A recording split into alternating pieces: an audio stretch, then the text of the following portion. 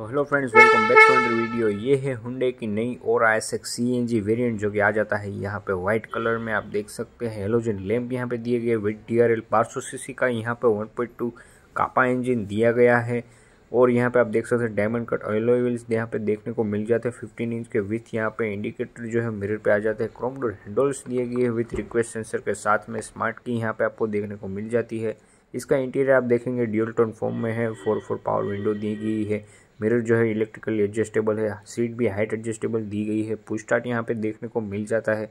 तो स्टेयरिंग पे आपको जो है वो मैट फिनिश का लोगो यहाँ पे देखने को मिल जाता है। तो स्टार्ट करते ही आप देख सकते हैं क्लस्टर में काफ़ी ज़्यादा जो है बदलाव नहीं किया गया है। फिर यहाँ पे देख सकते हैं सीएनजी का काटा साइड में आपको यहाँ पे देखने को मिल जाता है और यहाँ पे स्टेयरिंग माउंटेड ऑडियो कंट्रोल और ट्रैक्शन कंट्रोल वगैरह दिए गए हैं।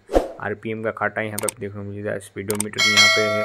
फिर आप देख सकते हैं यहाँ पे जो है वो एवरेज वगैरह जो है आप यहाँ पे ट्रिप मीटर टेकोमीटर यहाँ पे उसमें जो है सेट कर सकते हैं। टायर प्रेशर मीटर सिस्टम यहाँ पे देखने को मिल जाता है, फिर डोर लाइट्स और कन्वीनियंस का जो है वो यहाँ पे सेटिंग आपको देखने को मिल जाता है। फिर आप देख सकते हैं यहाँ पे इसका जो गेयर क्नोब है वो स्टाइलिश आ जाता है। वायरलेस चार्जिंग नहीं दिया गया सी टाइप और बार वोल्ट का आउटलेट और यूएसबी सॉकेट यहाँ पे दिए गए हैं।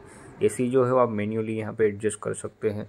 इन्फॉर्मेटिव साउंड सिस्टम की बात करें तो यहाँ पे यहाँ साढ़े सात, आठ इंच का यहाँ पे आपको देखने को मिल जाता है। विद डी आर फैसिलिटी और अदर सेटिंग यहाँ पे देखने को मिल जाती है। वायरलेस एंड्रॉइड ऑटो यहाँ पे नहीं मिलता है। यूएसबी थ्रू आप यहाँ पे कनेक्ट करके मैप अपडेट्स वगैरह जो है स्पोटिफाई वगैरह यहाँ पे सुन सकते हैं। स्पार्किंग कैमरा विद सेंसर यहाँ पे कंपनी फिटिंग देखने को मिल जाते हैं आपको पीछे की तरफ़।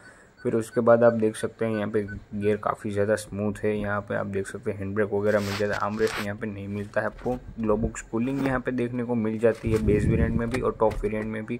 आप देख सकते हैं यहाँ पे पैसेंजर यूनिटी मिरर दिया गया है। डे नाइट ओवर और ये रूम लैम्प हेलोजन यहाँ पे दिए गए विथ माइक्रोफोन के साथ में। स्टेयरिंग माउंटेड ऑडियो कंट्रोल्स यहाँ पे दिए गए हैं। आप देख सकते हैं और नीचे की तरफ़ आपको जो हो यहाँ पे एम्बियन लाइट वगैरह यहाँ पे देखने को मिल जाती है। ब्लू कलर की फिर ट्रैक्शन कंट्रोल दिया गया है। सीक्वेंस सी एन जी यहाँ पर चेंज कर सकते हैं लाइट्स वगैरह और यहाँ पे जो है इंजन ऑन ऑफ़ कर सकते हैं। तो अभी चलते हैं पीछे की तरफ़।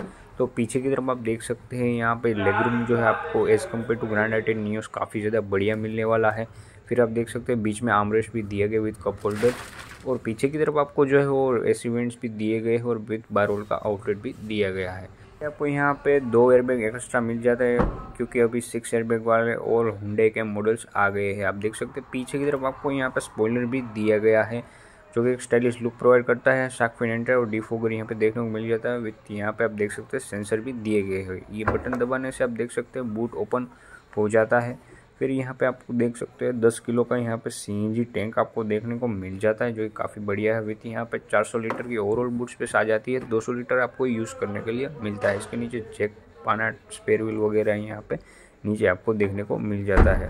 कंपनी फिटिंग यहाँ पे कैमराज आ जाते हैं, आप देख सकते हैं।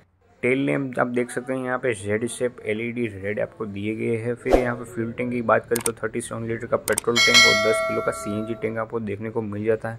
प्राइसिंग की बात करें तो ये आपको डिस्काउंट वगैरह काट के साढ़े नौ के आजू बाजू ये आपको ऑन रोड पड़ जाएँगी। वीडियो अच्छी लगी तो लाइक कीजिए शेयर कीजिए और चैनल पर नए तो सब्सक्राइब करना ना भूलें।